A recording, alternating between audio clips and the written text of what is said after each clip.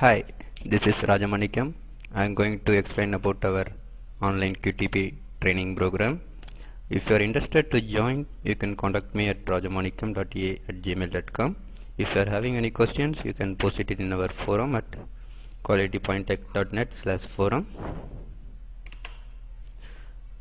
This training program is about learning QTP and uh, uh, solving issues whenever you are doing QTP automation.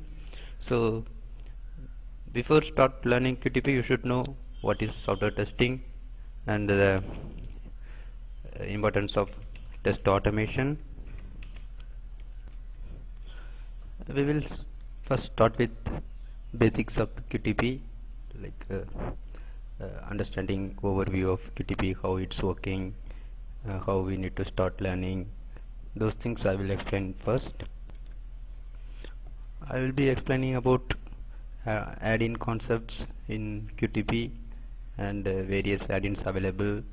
Actually, I have worked in various add-ins with the .NET and uh, mainframe. I will be explaining the difference between various add-ins, and I will be explaining about uh, the IDE used for creating QTP scripts, uh, like a toolbar, object repository, object spy, test pane, like keyword view, expert view, and about data table uh, and active screens. What are the uses of these things?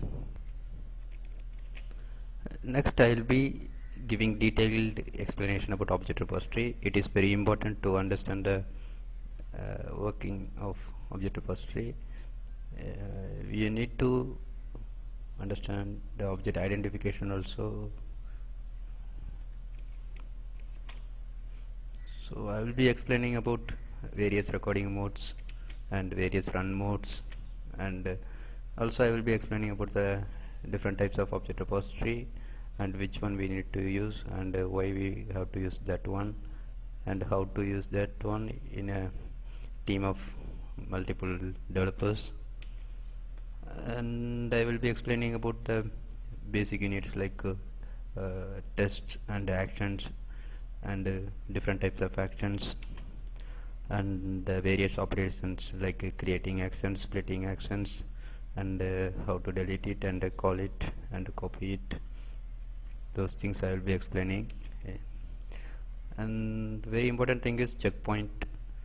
So there are lot of checkpoints available in QTP I will be giving detailed explanation and uh,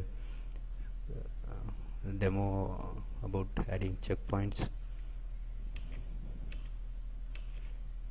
These things lot of checkpoints are available and uh, some of them will be supported in uh, some add-ins some will not be supported. I will be explaining those things. And uh, data tables used for data driven testing.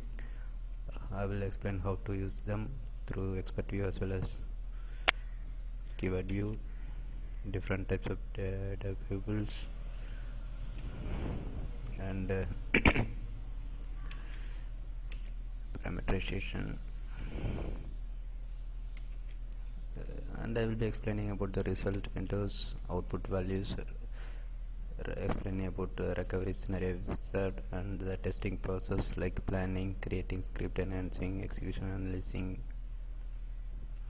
descriptive programming synchronization regular expression and use of environment variables. Scripting is VB script automation framework automation object model and automation processes.